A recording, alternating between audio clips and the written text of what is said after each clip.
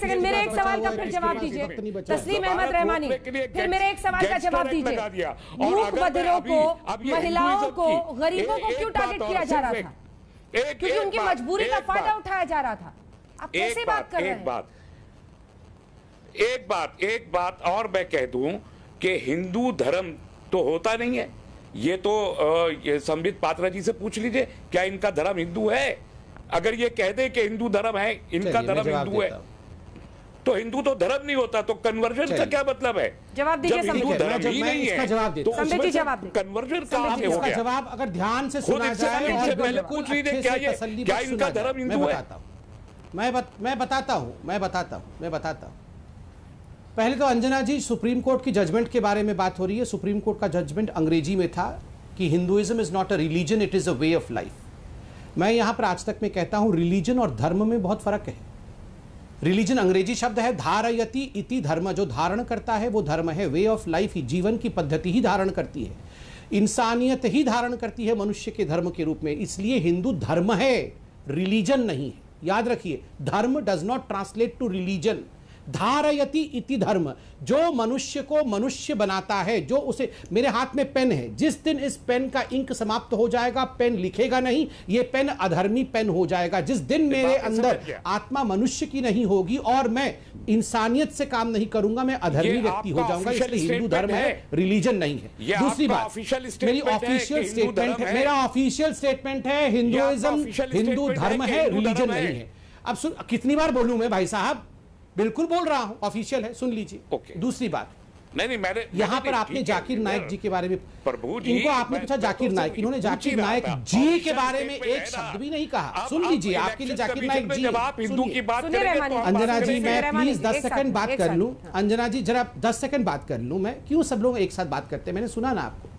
आप आप कभी भी रहमानी जी जाकिर नायक जी के ऊपर सवाल आपसे पूछा गया कि जाकिर नायक कोट अनकोट जी अच्छे आदमी है या बुरे आदमी है?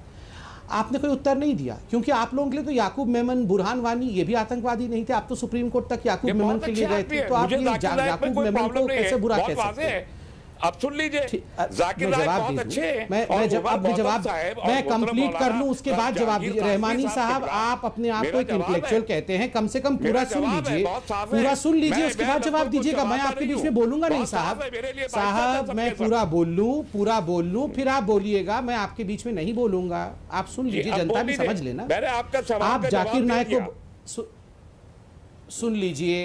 रहमानी साहब कभी भी अहंकार से नहीं शांति तरीके शांति से बात करिए ना बहुत समय हम दोनों बात कर रहे हैं। मैं कंप्लीट कर लूँगा फिर आप बात कर लीजिएगा। रहमानी साहब आप जाकिर नायक को बुरा नहीं मानते आप याकूब मेमन को भी बुरा नहीं मानते थे। आप तो उस, आ- ओसामा बिन लाडेन को भी मार्टर मानने को तैयार होंगे इसमें ये गलती मेरी नहीं है। आपको अपने अंदर इंट्रोस्पेक्ट करना पड़ेगा। दूसरी बात है आपने कहा कन्वर्शन एक प्रोसेस है जो 1400 सालों से इस्लाम में चल रहा है और ये अच्छा है ये चलता रहेगा। नहीं ये रेप करके कन्वर्शन नहीं चलता रहेगा। ये मूक बधिरों को हिंदू धर्म के खिलाफ डरा करके उनको आप पच, आ, आ, आप उनको धमका करके कन्वर्ट करेंगे तो ये प्रोसेस उचित नहीं है ये गैर कानूनी प्रोसेस है। अभी एक महिला को आपने कहा कि आपके वीडियो में कुछ भी गैर कानूनी आपने दिखाया नहीं एक महिला के वक्तव्य को सुनाया। उस विक्टिम ने क्या कहा? उस विक्टिम ने कहा कि मेरे साथ जबरन किया गया और फिर मुझे दो लाख रुपए भी दिए गए मुझे रेप भी किया गया और फिर मुझे कन्वर्ट करने के लिए कहा गया और आप बता रहे हैं कि यहाँ कुछ भी गैर कानूनी नहीं हो रहा है। देखिए हम सब अपने अपने धर्म को मानते हैं अपने अपने जीवन के तरीके से हम खुश हैं। आपको भी आपका तरीका मुबारक मुझे मेरा तरीका मुबारक मगर जबरन चाकू छुरी रख के कन्वर्शन करना ये उचित नहीं है। ये तो कम से कम मानना पड़ेगा आपको ना? हो अहमद तो रहमानी साहब जवाब अब मेरे सवाल का जवाब दीजिए जल्दी से जल्दी से। मेरे सवाल का पॉइंटेड जवाब दीजिएगा जो सोच कर आए मोहम्मद बोलिएगा। मुझे ये बताइए कि आप जाकिर नाइक के बारे में कह रहे हैं कि आपको उनमें कुछ गलत नहीं दिखता। जिस शख्स की इंडियन एजेंसीज को तलाश है इस्लाम- इस्लाम में जो वांटेड है एक सेकेंड सवाल सुनिए। इस्लाम में सवाल सुनिए। की सजा बहुत है। रहमानी साहब इस बहुत सवाल सुनिए। में कह रहा हूँ। जिस पर इस्लाम ये आरोप है जिस पर धाराएँ लगाई गई है कि वो नफरत फैला रहा था हेट स्पीचेस के ज़रिए। आवाज़ नहीं जा रही क्या इनको? आवाज़ नहीं जा रही क्या इस्लाम कहता है लकुम सवाल सुना कीजिए।